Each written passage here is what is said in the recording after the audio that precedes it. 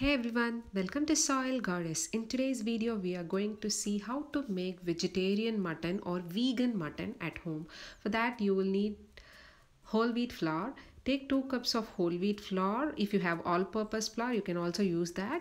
I'm using whole wheat flour and add water gradually and make it into a chapati dough consistency. Keep this aside for half an hour and add water gradually like this and start to massage this dough very gently for another 5 minutes.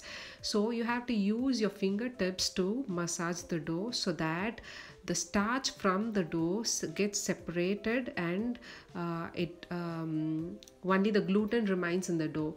So you can already see the water is becoming white which means the starch in the dough is getting separated and only the gluten is sticking to the dough now. Repeat this process for a couple of times. This is my third time i'm adding water and massaging the dough. You can already see the water is becoming um, white and all the starch is coming out and you can already visibly see our dough is becoming start started have started to become stretchy. And this is the right consistency we actually need for making vegetarian or vegan mutton at home. So this is after making this three times the process in three times the fourth time i am adding i'm just um, running cold water in the dough and squeezing all the excess water and make sure you squeeze all the excess water from the dough and make it into small pieces like this I'll be adding so many vegan and vegetarian meat recipes uh, in the future and I'm, I, I have already created a playlist for this so please watch our channel regularly and I'm also making sure I'm uh, taking all the excess water from the mutton pieces and adding these mutton vegan mutton pieces in boiling water and leaving it to boil for another 10 minutes. Let the mutton pieces get boiled. Meanwhile we'll make kothu kari for that in a pan. Heat 2 tablespoons of coconut oil and add 4 to 5 cloves 2 pieces of small cinnamon and cardamom and add chopped onions to it. Let it get sorted. Meanwhile we'll make the paste for kothu kari.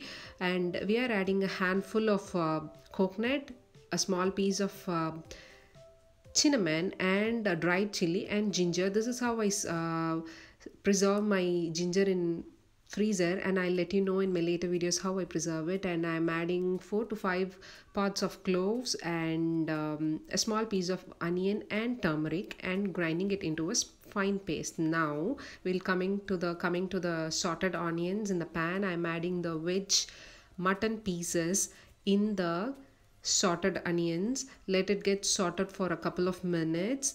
After that it already looks gorgeous i know. After that we are adding a pinch of salt. Uh, you can add salt per taste and adding the kothukari paste into it. Now sort it well for another 10 minutes because uh, this paste should shrink well after 10 minutes this is how a kothu kari looks like. All the masala has been absorbed well and you can see the oil is getting separated from the kothu kari. This is when you have to switch off your stove and transfer it into a serving bowl. Kothu kari means chopped meat in Tamil. This is an authentic dish which my mom makes for every other Sunday, and this is a very big hit. And if you like this video, please subscribe to Soil Goddess, share this video, and thanks for watching.